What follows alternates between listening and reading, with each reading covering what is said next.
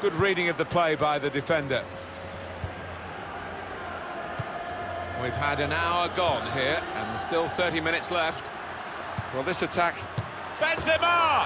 A big moment for Karim Benzema on the goal trail again. Well, they've gone further behind, and I'm afraid the fingers are being pointed at the goalkeeper. Oh, I'm looking at the manager as well, Martin. Probably thinking about substituting the way he's playing.